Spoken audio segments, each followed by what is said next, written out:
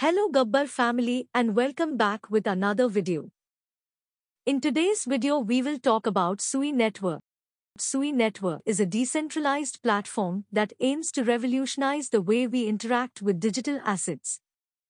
Sui was developed by Mysten Labs. Sui is a layer 1 blockchain launched on 3 May 2023 with a native token of the same name. Sui makes use of Move, a programming language based on Rust, to provide high-speed transactions, instant processing, and scalability. Sui gained attention in the crypto community after an exchange between Binance founder CZ and Tron founder Justin Sun. One of the key features of the Sui network is its ability to support multiple types of digital assets, including cryptocurrencies, tokens, and non-fungible tokens.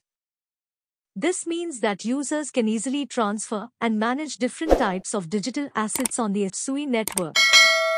Now let's talk about listing of SUI token. The SUI token is currently listed on several cryptocurrency exchanges, including Binance, BitMax, and Hotbit. This means that users can easily buy and sell SUI tokens on these exchanges.